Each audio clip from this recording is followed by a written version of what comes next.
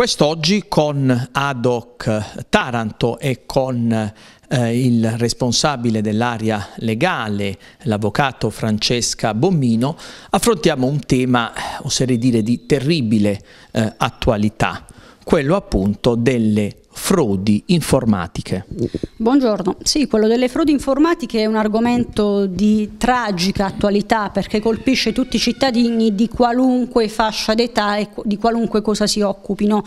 Quando si parla di frodi informatiche parliamo essenzialmente di truffe perpetrate ai danni eh, di cittadini anche di più accorti a volte. Eh, si sostanzialmente si dividono in due grandi categorie, c'è il vero e proprio furto di identità e poi c'è la forma più comune che è il cosiddetto cosiddetto phishing.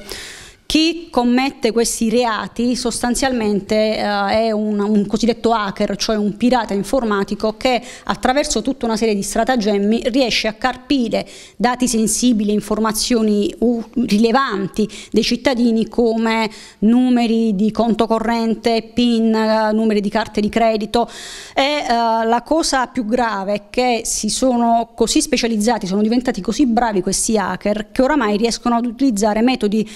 sempre più difficili da riconoscere, cioè eh, molto spesso, nella quasi totalità dei casi, inviano a soggetti mh, di diversa natura delle mail o dei messaggi anche su Whatsapp a volte spacciandosi per delle banche. E eh, dal punto di vista grafico i siti ai quali si agganciano link sui quali chiedono di cliccare sono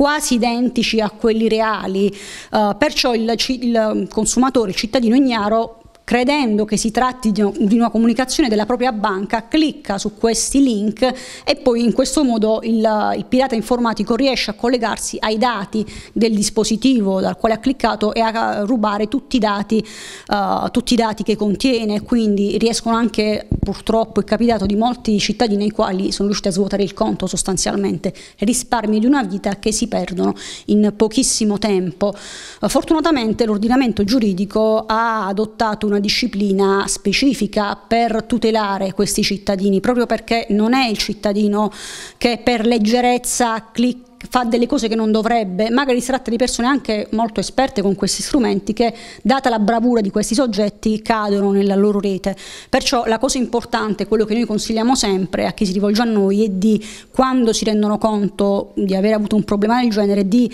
rivolgersi innanzitutto immediatamente alla propria banca chiedendo di bloccare tutti i conti e poi all'autorità giudiziaria provvedendo anche con delle querele che saranno contenute ovviamente ma che sono cautelative. Uh, fortunatamente la, quella che l'orientamento delle corti in questo periodo è piuttosto favorevole al consumatore perché a meno che la banca non riesca a provare di aver adottato tutte le misure tecniche che esistono per bloccare questi eventi di questo tipo molto spesso sono costrette a risarcire il cittadino che ha subito un danno di questo tipo, a meno che non si prova che c'è stata proprio una leggerezza del cittadino.